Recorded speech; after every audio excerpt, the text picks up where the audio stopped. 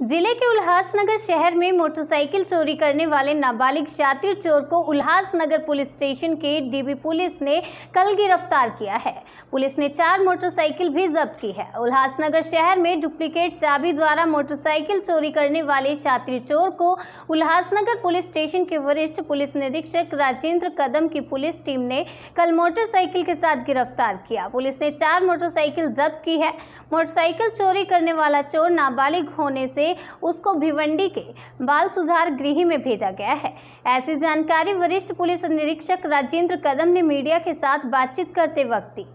जनसेतु के लिए उल्लासनगर से सुनील शर्मा की रिपोर्ट। उल्लासनगर पुलिस स्टेशन में बाइक चोरी हो गई थी।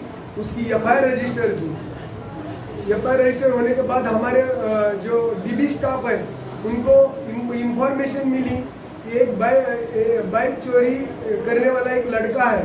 कोई इंफॉर्मेशन मिलने के बाद हमारे डीबी चाप के ऑफिसर्स और स्टाफ ने उसको उसको कब्जे में लिया और उसके पास पूछताछ करने के बाद उसने चार बाइक चोरी किए हैं, ऐसा बता दिया।